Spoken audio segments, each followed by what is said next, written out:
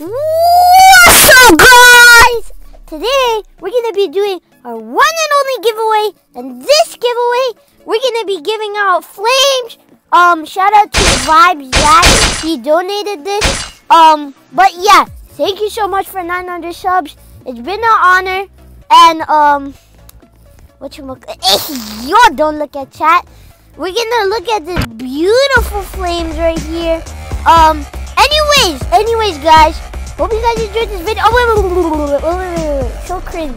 But, um, so the steps for this video, you guys need to comment your user and answer this one question. Should I re release the shirt that I'm wearing right now? This MLG Coke X Pepsi merch.